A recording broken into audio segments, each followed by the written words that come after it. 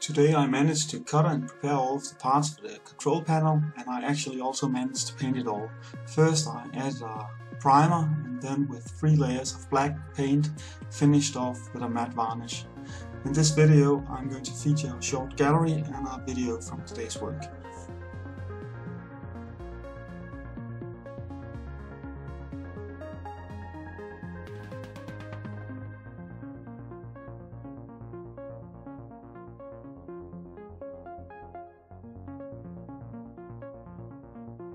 Hi everyone and uh, welcome to the world of slot cars.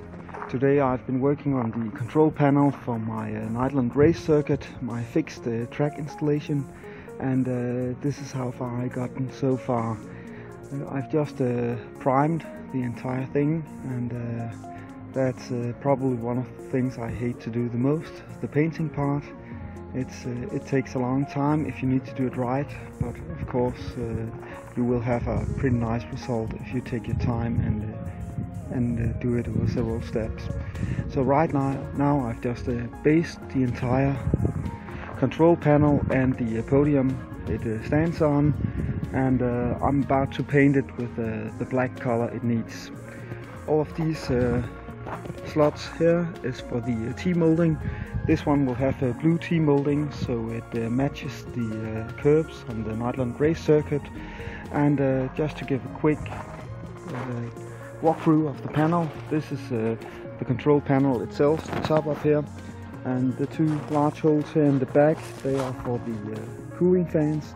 That I need to have some kind of cooling as I'm going to have all of the wiring and electric circuits in here and the top there'll be a large amount of electronics and I'll also have the power supplies for the racetrack in here.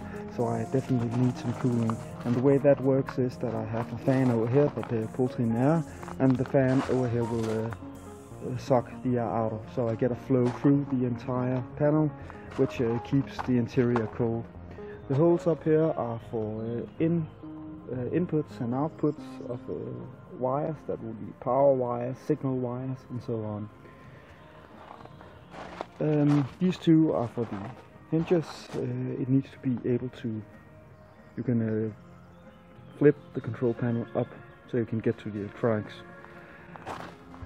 This here, down here, is uh, the top panel and these three parts uh, are actually one for each driver and the last one is for the marshal. So this panel will have the feature of uh, two drivers and a marshal panel. And this marshal panel will be a bit for everything. It will be positioned in the middle and you'll have switches for the light on the track and uh, for garage doors and everything I decide to add. And I have plenty of room in here to add them.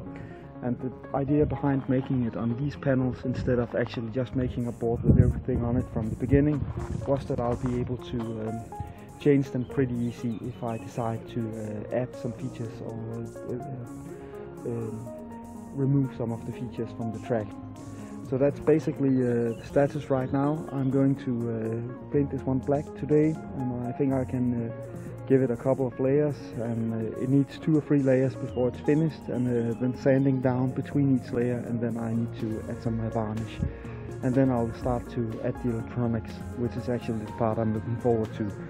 So um, thanks for watching. Hope you enjoyed the video and um, please uh, please leave a like if you liked it.